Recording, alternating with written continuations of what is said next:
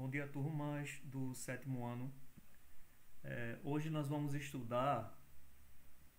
Hoje nós vamos estudar na matemática é, medidas de capacidade, né? Vamos é, entrar nesse universo das grandezas, né? E especificamente vamos estudar capacidade, bem como os instrumentos e as unidades de medida para aprendermos a medir a capacidade, né? Então, ó, é, você sabe qual será o nosso conteúdo a ser estudado? Acabei de falar, né? Capacidade. Bom, iremos discutir sobre medidas de capacidade, suas grandezas, instrumentos e as unidades de medidas. Você já ouviu falar nisso? É, com certeza você já deve ter ouvido falar no ensino fundamental 1, né? é, é recorrente no, na matemática. Né? Você já ouviu falar em capacidade? Que tal observarmos o que o dicionário afirma, né? Então, ó, segundo o Aurélio, pessoal, capacidade é um volume ou âmbito interior de um corpo vazio, tá? Então, é, por exemplo, uma garrafa de, de refrigerante, é, ele é um recipiente, tá certo? E dele cabe ali, tem um volume máximo ali, tipo um refrigerante de 2 litros, então volume de 2 litros, tá? Então ele tem uma capacidade para 2 litros de refrigerante ou 2 litros de água ali dentro ou de qualquer outra, outro tipo de líquido, né? Tá? Então, a capacidade é isso, é um volume ou âmbito interior de um corpo vazio. Com esta definição, você já deve ter pensado em algum recipiente em que cabe um certo volume, né? Como por exemplo, copo. Um copo tem um volume, geralmente de 150 ml, depende do tamanho do copo, né? Será que há algum recipiente em sua cozinha que lembra essa definição aí do Aurélio, né? Que é esse dicionário? Com certeza, né, pessoal? Então aqui tem um exemplo de, de recipientes aí, ó, garrafas né, de vários tamanhos, tamanhos distintos aqui, grande, médio, pequeno, tá? Então essa, a partir dessa imagem abaixo, é, podemos perceber vasilhames que têm é, suas respectivas capacidades, né? Tem, tamanhos variados aí, tem capacidades também variadas. Né? Viu como as capacidades estão bem próximas da nossa realidade? Então capacidade você consegue observar em qualquer lugar caixa d'água. Olhou para cima, tem uma caixa d'água na casa? Tem uma capacidade ali, né? Tem uma, uma capacidade é, volumétrica naquela caixa d'água. Está nos rodeando isso. Agora chegou a sua vez de se, de, de se reunir, né? Com aqui um texto, obviamente, mas não é obrigatório porque a gente não, não, não podemos nos reunir agora por conta do, da Covid, né? Mas você pode observar, observar recipientes, observar vasilhames, é? ou como queiram chamar, observar a capacidade de cada um desses objetos. E você pode anotar isso daí para comparar. Tá? É, vamos ler agora uma, uma definição da Wikipedia né? É, a respeito de grandeza, tá pessoal? Então, uma grandeza, também é conhecida como quantidade, grandeza ou quantidade é a mesma coisa é o conceito que descreve qualitativa e quantitativamente, ou seja, qualidade e quantidade, as relações entre as propriedades observadas no estudo da natureza. No seu sentido mais amplo. Uma grandeza descreve qualitativamente um conceito, porque para cada noção diferente pode haver, pelo menos em princípio, uma grandeza diferente e vice-versa. Uma grandeza descreve qual, é, quantitativamente um conceito porque o exprime em forma de um binário é, de número e unidade. Logo, grandeza é tudo aquilo que envolve medidas. Tá? Então, tudo que você puder medir, é, você chama de, é, nós podemos chamar isso de grandeza. Ok? Vamos discutir um pouco mais sobre grandeza. Tá? Então, aqui, ó, aqui tem um exemplo. Né? Então nós temos um vasilhame de 2 litros. Né? Se temos um vasilhame de 2 litros de refrigerante, tá? vamos pensar. Um vasilhame de 2 litros de refrigerante. Quantos copos de 200 ml podemos encher? É, vamos parar para pensar agora. São 2 litros. Tá certo? 2 litros de refrigerante. E eu tenho copos de 200 ml. Eu posso preencher quantos copinhos de 200 ml se eu tenho uma garrafa de 2 litros? Vamos pensar aí, pessoal? Bom, e se os copos descartáveis tiverem capacidade de 250 ml? Tá? Quantos copos encheríamos? Observe, 250 ml. 250 ml com mais 250 ml já dá 500. Certo? Então, mais dois copos desses já vai dar mil. Então, quatro copos equivale a um litro. Ok? Então, se você bota mais quatro copos, você vai ter aí oito, um total de oito, o que vai dar dois litros. Tá, tá vendo que não é, não é tão complicado, né? Dá para se fazer muita coisa com isso. Então, resolva esse desafio. Tente responder agora o iníciozinho, que é para 200 ml. Tá? Então, no exemplo anterior de capacidade de bebidas, podemos pensar mais um pouco e observar que, é, nesse sentido, que um grupo de buffet, é, buffet é para é, servir, né? servir bebidas, servir é, em festas e é, você contrata um buffet para poder é, servir aos convidados, né? servir bebidas, comidas. O buffet organiza com seus colegas garçons, com, organiza com seus garçons para uma festa contratada por um cliente. Primeiro, se pensa na quantidade de pessoas, o público-alvo.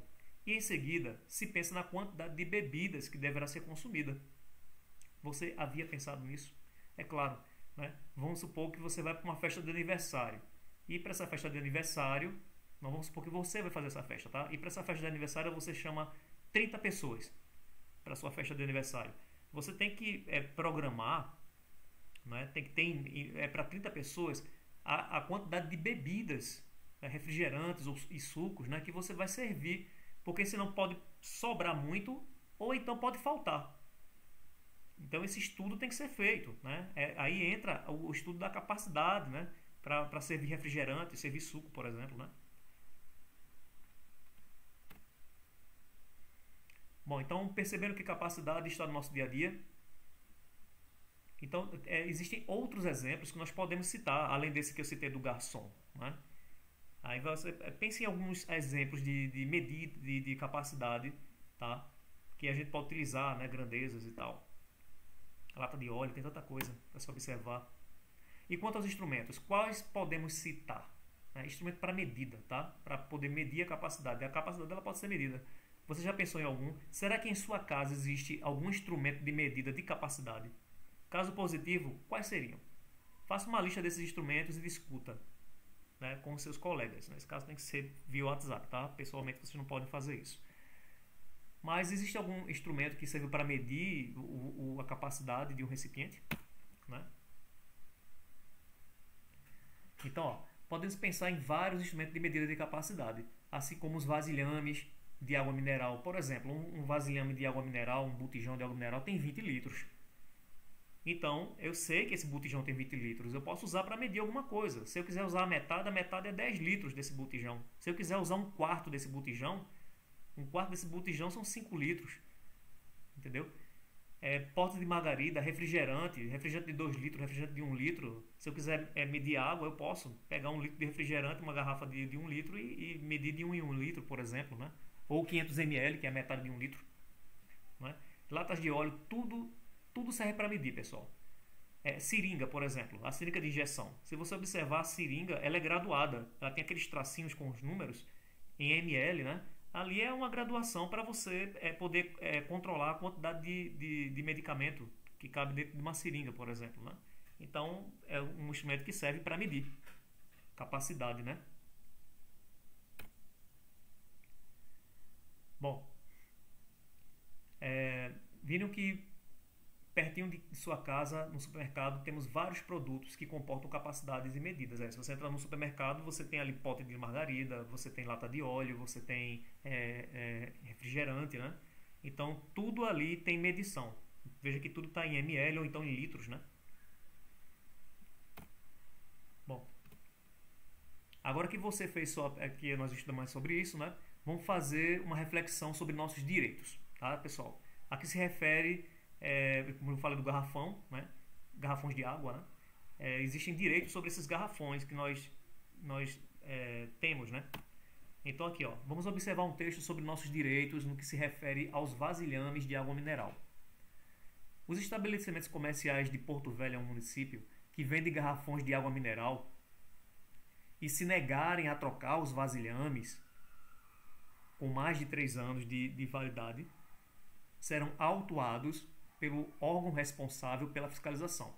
Os consumidores que passarem por esse constrangimento devem buscar o auxílio do órgão para a resolução do problema e muitas denúncias já estão sendo registradas e fiscalizadas pelo PROCON, que é o órgão que é responsável pela fiscalização. A portaria número 387/2008, portaria é uma lei, tá? A ser cumprida, né? Do Departamento Nacional de Produção Mineral do Ministério de Minas e Energia. Aí tem uma sigla para esse nomão aí. É o DNPM-MME, de 23 de setembro de 2008. Então, ó, essa, essa regra foi promulgada em 2008, tá? Essa portaria, por isso que é de 2008 aqui, ó. É quando ela foi publicada. Que estabelece as normas para a substituição dos vasilhames antigos por novos, com prazo de validade a serem seguidos pela, pelas indústrias de água mineral. Dentre eles, o material a ser utilizado determinado. Além de impor validade para o vasilhame, a portaria do DNPM estabelece uma série de padrões no garrafão e a necessidade de impressão da data, tem que vir com a impressão da data de fabricação, né? E de validade do produto.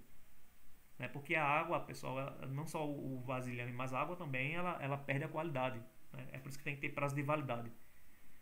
Para se adaptar a essas mudanças, indústria, comércio e consumidores, que somos nós, tiveram o prazo de um ano, desde 2008, né? Isso aí no caso. Os prejuízos não podem recair sobre os consumidores, que só estão cumprindo com as determinações da portaria. Como a obrigação é dos fornecedores, os revendedores também não podem ser lesados e devem buscar meios jurídicos para garantir os seus direitos, de não arcarem com os prejuízos. A orientação é que as pessoas busquem seus direitos, sejam os consumidores ou os revendedores, em cada órgão competente. As medidas serão tomadas para garantir os direitos dos consumidores, levando-se em conta o artigo 6, inciso 6 do CDC. CDC é sigla para Código de Defesa do Consumidor, tá? É o CDC, que trata dos direitos básicos do consumidor. Outra orientação importante é que os consumidores procurem trocar os garrafões sempre no local onde efetuaram a compra e também tenham a nota fiscal do produto para facilitar a atuação do órgão. Conforme a portaria do DNPM, após o dia 30 deste mês, os revendedores ficam obrigados ainda a trocar os garrafões fabricados em 2004 até o dia 30 de novembro os fabricados em 2005 até 30 de dezembro e os de 2006 até 31 de janeiro. Isso tudo aí já está é, resolvido, né? Porque isso aí foi uma lei de 2008, nós estamos em 2021, né? Mas isso aí é para vocês entenderem como é que funcionam né? as leis um pouco, né? A respeito do Código do Consumidor. Bom, então haviam pensado antes nesse nosso direito que temos sobre os vasilhames de garrafões de água mineral que nos garante a troca dos vasilhames. Agora, em sua comunidade, você usa água mineral ou é só água de torneira? Quais procedimentos você utiliza para ter água potável? Água potável é água de beber. Né?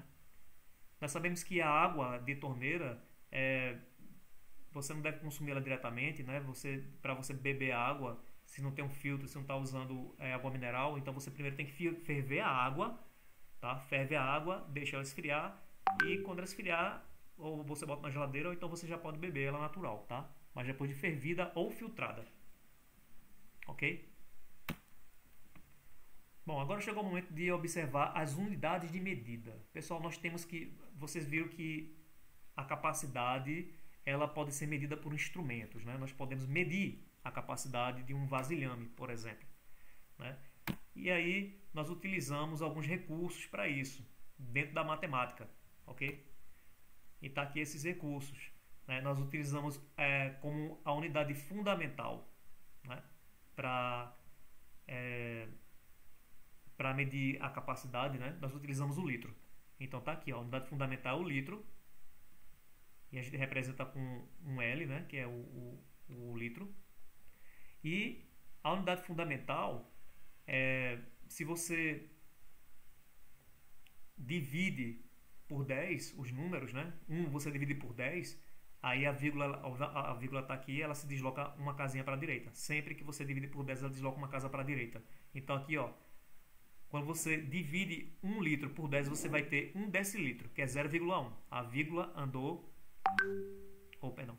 A vírgula andou uma casa para a esquerda. Tá? Então, a vírgula anda para a esquerda, você tem o decilitro. Certo? Se você divide por 10 mais uma vez, aí você vai ter o centilitro, que é a centésima parte do litro. Tá? Então, vai dar 0,01. Andou mais uma casinha para a esquerda. E se você divide por 10 de novo, você vai ter 1 mililitro, que é a milésima parte do litro, 0,001, ok? A mesma coisa acontece se você multiplica por 10, tá? Se você multiplica 1 litro, multiplicar 1 litro por 10, sempre por 10, tá? Ou divide ou multiplica. Se você multiplica por 10, aí é só pegar o, o, o zero do 10 e acrescentar aqui, ó, vai dar 10, 10 é, nesse caso 10 decalitros, né?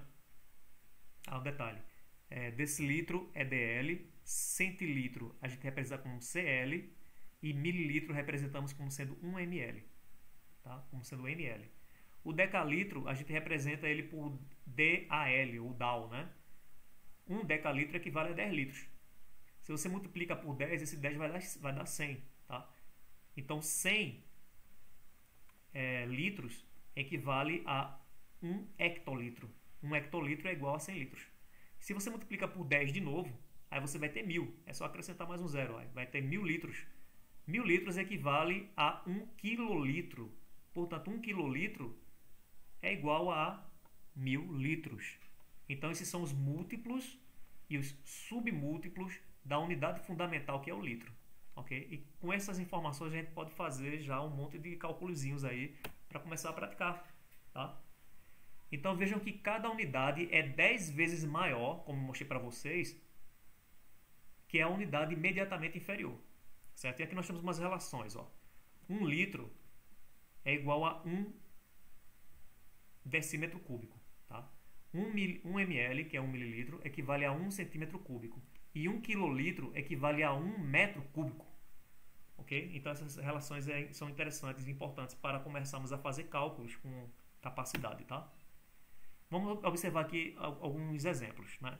Então, vejam só essa, essa, esse exemplo 1 aqui. Se você tem 10 litros, se eu tenho 10 litros, quantos ml, quantos ml tem esta quantidade?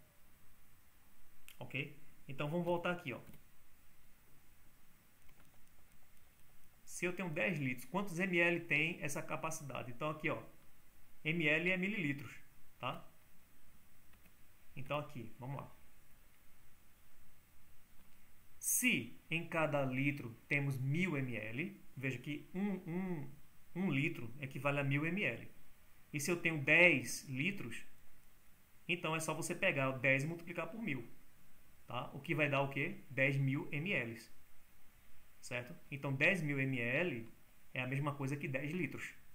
Ok? É só você multiplicar o litro pelo ml. Tá? porque cada, cada litro equivale a 1000 ml. Ok, pessoal? Então, um outro exemplo. Olha só, isso aqui é uma questão de, de, de doença, né? Vamos supor, é para medicamento. Então, se uma criança toma 5 ml de remédio por cada 8 horas,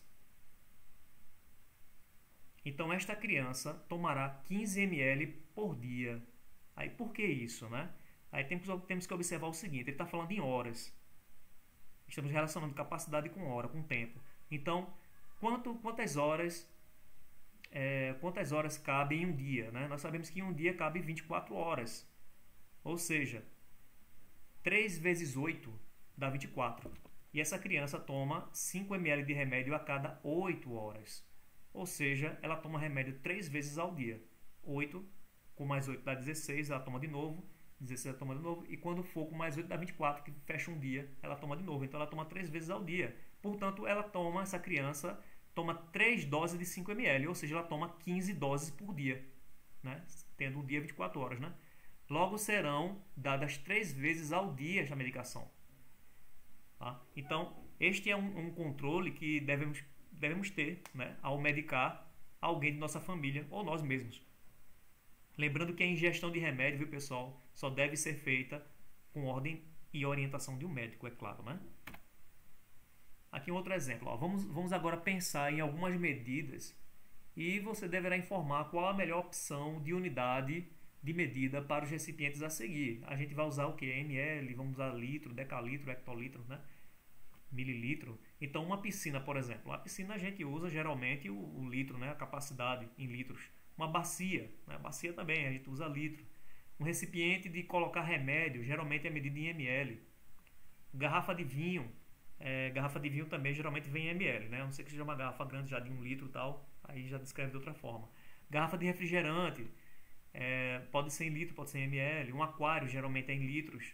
A seringa geralmente vem em ml, né? Caixa d'água, né? Você tem caixa de mil litros, né? O pessoal sempre me mostra a capacidade bem grandão, né? Que eles escrevem na, na caixa d'água, também em, em, em litros, ok? Bom, pessoal, vamos fazer uma pequena atividade a respeito disso, tá certo? Muito obrigado pela atenção e até a próxima.